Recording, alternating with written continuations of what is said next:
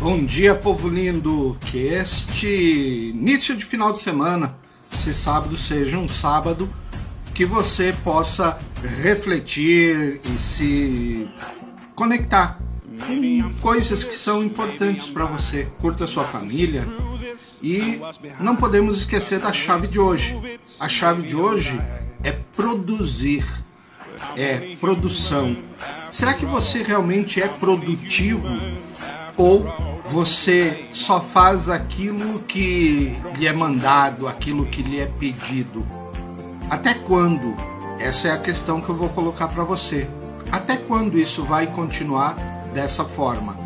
Até quando você vai se permitir ser menos de, daquilo que você o é? Porque você é a imagem e semelhança do Criador, um criador.